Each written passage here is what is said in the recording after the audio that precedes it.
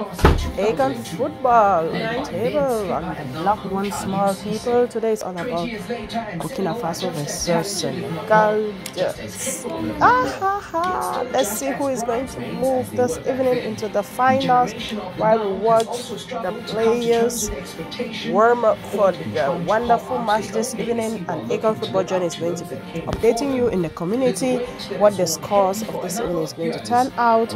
So stay tuned largely because of the way Coach Malo has decided to use them in the game. This is Senegal then with Aliou Cisse. We spoke about him going back to that bench then and looking at those that came in the second half and scored. So all of a sudden now you're beginning to see Kouyaté gets to start. Sarr is also uh, part of the team it, it, it, it's a team that has, in terms of talent, if you're looking at the names of the players just on paper, you know the qualities there. It's difficult to compare maybe Andre with those uh, on the side of Burkina Faso because the, the, the, names are well known, the names are well established. But like Benjani says, for Senegal to show the quality that they have, they must prove it on the field of play.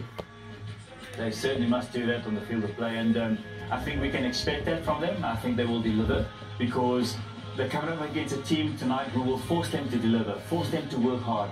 Um, just in terms of how they set up their, their, their, their, their play, their, to compete against the best and be at this stage. And I think tonight they'll show that they haven't just be, uh, uh, come here by fluke they are going to give as good as they get in this particular semi-final. Uh, so Noah, good evening. Maybe, just maybe then, let me also ask you the very same question. Yeah, yeah definitely. Um, Burkina Faso um, have done an incredible job. You know, um, they came to this tournament, they started slow. Uh, they, they lost their first game against Cameroon. But this speak, that's the beauty of this game.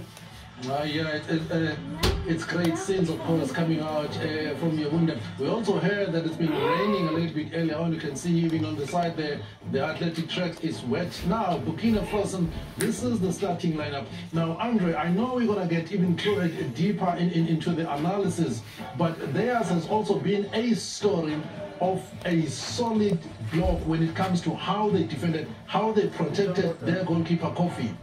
Yeah, brilliant. And I mean, a lot of credit must go to the coach, Kamou Malo, for the way he's always put teams out to be attacking teams, not to give the opposition too much respect.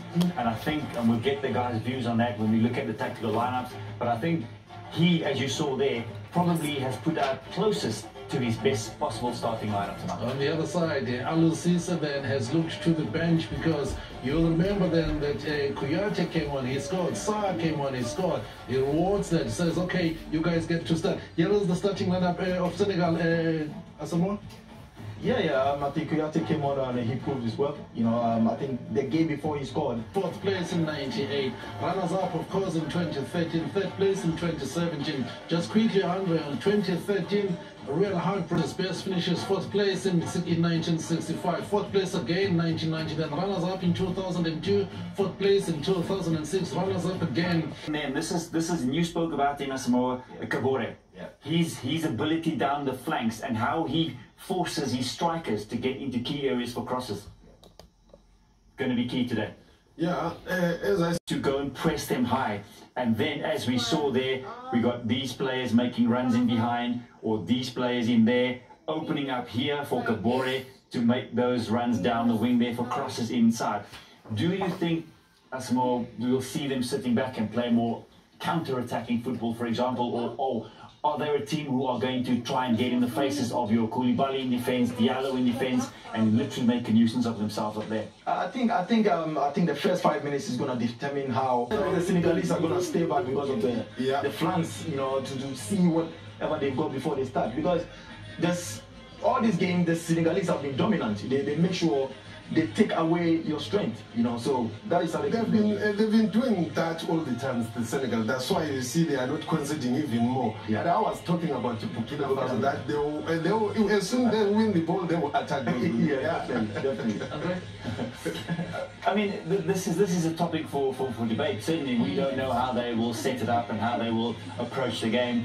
But I think the fact that we we are kept guessing in terms of how they will set up and who, how, how they will press uh, for both these teams or if they will sit back and play counter-attacking football because that's the clips that we picked out in their games leading up to it. So from a Burkina Faso perspective, They look to go over the top. They look to make runs in behind, which means that they do sit back, try and break down the play, and then catch um, opposition teams on the counter attack. And that for me is going to be key um, to see the way they approach it. Many people are also commenting the fact that it's two countries that is more coached by local coaches. Amazing, and that is what um, Africans want. You know, they want their people to be coaching them, and uh, I'm so proud of these uh, two coaches. You know, they've done incredible work for, for their countries, and then we look in the future to be seeing. My, my, my, my issue here with this is they're coming up against a Senegalese defense have conceded one goal in this Nations Cup. So when you look at this particular area here, that is going to be key for them. Now, do you have a strike force in players like Mane, for example, Didier Dieng who comes in now?